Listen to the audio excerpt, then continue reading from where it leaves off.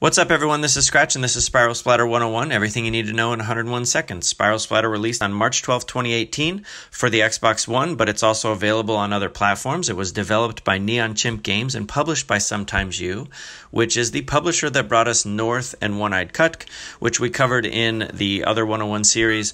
And like their other games, this one again only costs $4.99. Spiral Splatter is a simple puzzle game that has you guiding a little white circle towards a target, which sounds pretty easy. Well, if you're a pro at the game Operation as a kid, then you might think so. The challenge in this game, just like in Operation, is don't touch the sides. Touching the sides or any other hazard will send you back to restart the level, although going fast is where you're going to need to shine. The controls are simple one thumbstick to move your circle and one button to control your speed.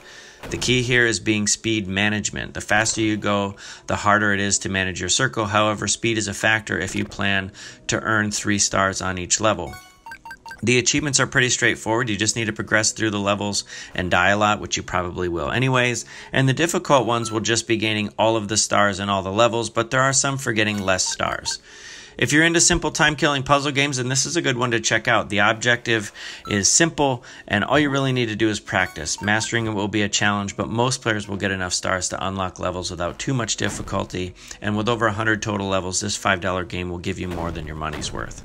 Thanks for watching, and let me know what you think in the comments. Is this a game for you? Is it something you'd play? I'd be curious to know.